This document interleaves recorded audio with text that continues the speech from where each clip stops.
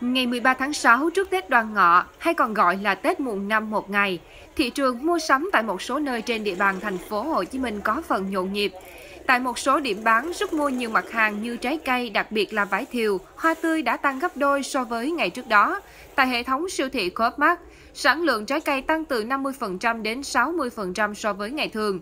Vải thiều có giá từ 27.500 đến 40.000 đồng một ký, quýt đường 60.000 đồng một ký, bánh ú tro giá từ 50.000 đồng đến 100.000 đồng một chục, cơm rượu và xôi vò từ 60.000 đồng đến 80.000 đồng một ký, hoa cúc mai từ 30 đến 35.000 đồng một bó, cúc đại đóa 70.000 đồng một bó. Riêng mặt hàng lá sông được bán với giá 10.000 đồng một bó.